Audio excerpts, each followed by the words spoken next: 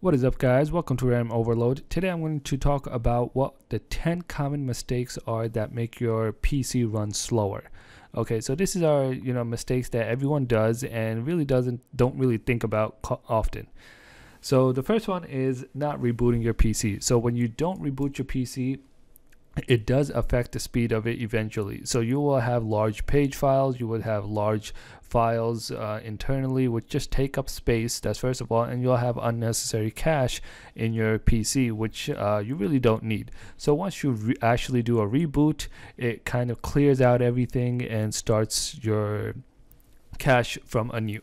All right, and that's what you really want. So that will keep your computer at a steady rate. You know, if you will probably notice dramatic uh, speed difference if you are experiencing some speed issues. All right. So second thing is clicking on shady ads. So if you go to a certain website and start clicking on random ads, or you even by accident, right? Um, it will it well i wouldn't say it will but it definitely could affect your performance of your computer. You know you don't know what these ads are. They can be downloading trackers and different things onto your browser and onto your system itself okay? So you definitely want to stay away from that. Third one is you have too many programs running. So you can see my computer over here. I have a couple programs but you might wonder okay i don't really have a lot of programs but you know it's still running a lot of stuff. So the other thing is over here you know these are also programs running on your computer. So to get these are the programs usually when that run on startup right? So as soon as you run your computer and these programs will run. So let's say you want to disable that you can go to right click taskbar oops not there. Um, so you can press uh, control shift escape to open the task manager. Right so let's just expand that. You can see these are the applications that have currently running and you'll see a tab on top that says startup. So here are the applications. Let's do status enabled. So these are the applications that automatically run when my computer starts up.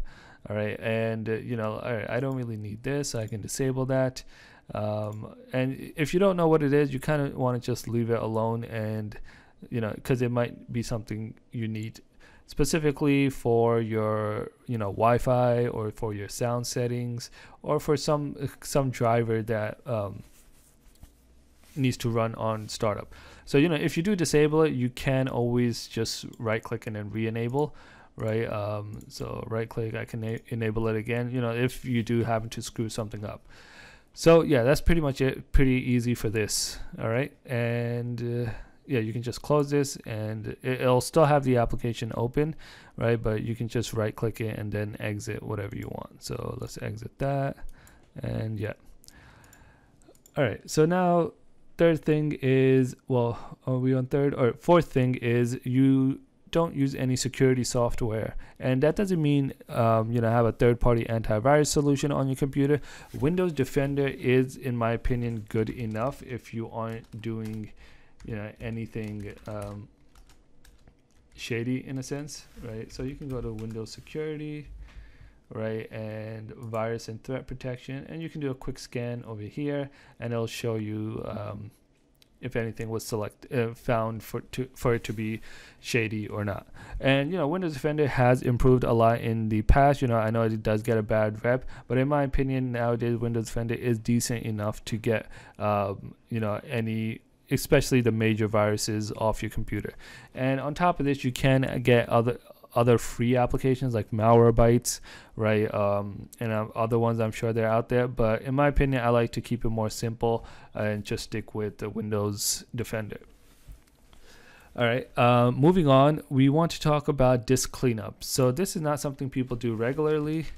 Disk cleanup, you want to just search it, and then once you search it, choose which drive you want. Um, this one is external hard drive, so I'll just do my C drive, and here it is. So now you can see these are the applications. I've done this recently, so I don't have a lot of uh, big size files on here. So you can choose what you want and then uh, clean up system files. Well, that that opens it up as admin, which I believe will show you more options. So that's taking a little bit. So I want to just pause the video and then play it when it finishes.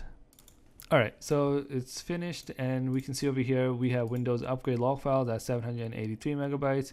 I have Windows previous Windows installation which is taking up 22 gigabytes which I don't really need right and you can just select whichever one and press OK to remove it. Now this is going to take a while so I won't do that now but you get to just it'll remove any uh, large files that you have on your computer which you really don't need in my opinion. All right. Um, next is not keeping your Windows up to date. So Windows update. So you can just search that and see over here, check for updates. And you want to do this often, okay? Because you know they, the update you could be on could be like you know could have a bug, could have a security issue, could have performance issues. So when they come up with a new update, you know it does it can help um, if there are any performance issues in the uh, version you have currently. So you want to just stay up to date on your Windows update.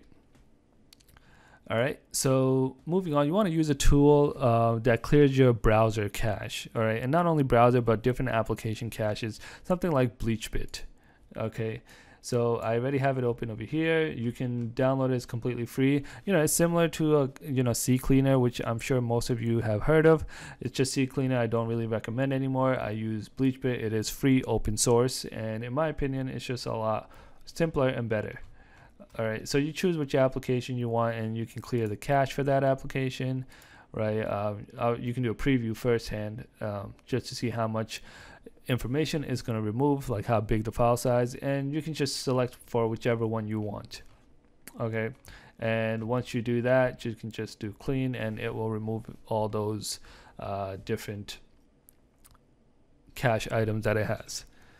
So that will definitely help your browser experience in my opinion. Um, you know a lot of browsers do tend to start going slow eventually after a certain time of use because people don't really clear out the cache or you know extra temporary files that are there. So this definitely clears it up and helps it um, you know go a little bit faster. And in my opinion if your browser is going slow you definitely will see some sort of performance improvement after doing this. All right so moving on, so let's just open this up again. Uh, you want to keep all your applications up to date. So let's look at BleachBit. So you know every application you have will have like an about section or you know information section where you can see the version you're using, and usually it'll say um, some have an, a button to click to see if there's any updates available, or some you have to go to their website and see if there's any updates. So you always want to be on the latest update of the application all right? Um, and that's mainly similar to the windows updates where you know it could be security issues performance issues or any sort of issues that they're going to resolve and you know just more features. But definitely uh, in my opinion it's good to stay on up to date with all the features. All right and moving on, we will. I, I want to some, mention something. This is not software, but you know more hardware, in my opinion, is clean keeping your computer case clean and dust free. So when it's dusty like this, you can see it's just really bad for the computer. You know, all the fans are working extra harder. You know, it's not cooling properly. The dust is getting in places it's not supposed to be getting in. It's just ruining the lifespan of your computer as well as uh, making it a lot harder for your computer to run as is because a cooler computer runs faster and runs more optimally. So you know once you have dust clogging up the fans clogging up uh, basically everything you are kind of keeping the heat inside and not letting it escape and that definitely affects performance in a bad way. So you, you want to just try to keep those clean all right? Um, now last but not least, we want to optimize our drives. Okay, this one most people don't know of, which is kind of weird because I thought everyone did know about this. Uh, you want to just search defragment and optimize drives, and click on it. Wait a couple seconds, and here we are. So you can see my external. So this defragmentation only works on the hard on the HDDs right now on the SSDs. So you want to do it on the HDDs only. So analyze, right? Uh, you can see mine is 0% fragmented, which is good. That's what you want. Okay, so you can do opt, um, optimize also, but in, it's not really going to do anything in my case. But you know, this usually happens when you have a lot of files on your computer that are being constantly deleted and added. In my opinion, in my hard drive, I don't have that anymore, and I've optimized it. Um, I, I do it frequently, so I really don't have this issue but basically it's you know something if you're running your pc on where you know a lot of temporary files are being stored where you're downloading files deleting them and just installing deleting it, it could um, fragment your hard drive, which basically means um, it's more of like a I don't want to get too much technical, but it's more logical in the hard drive where there's not enough space, uh, contiguous space for a certain piece of memory to fit. So this just um, basically clears that up and makes more space. So you want to definitely do this on you know weekly or wherever you want to do, right? You can even I guess schedule it, right? Um, but yeah, just whatever you feel comfortable with. So yeah, that's pretty much it. You know, these are the top 10 ways. A lot of people, you know, uh, don't really do these often, which results in making your computer slower and just giving you a bad experience overall. So yeah, let me know what you guys' thoughts are. If you like this video, make sure to give it a thumbs up. Don't forget to subscribe and hit that notification bell so you get any updates every time a video goes live. Other than that, Broke Millennial out. Peace.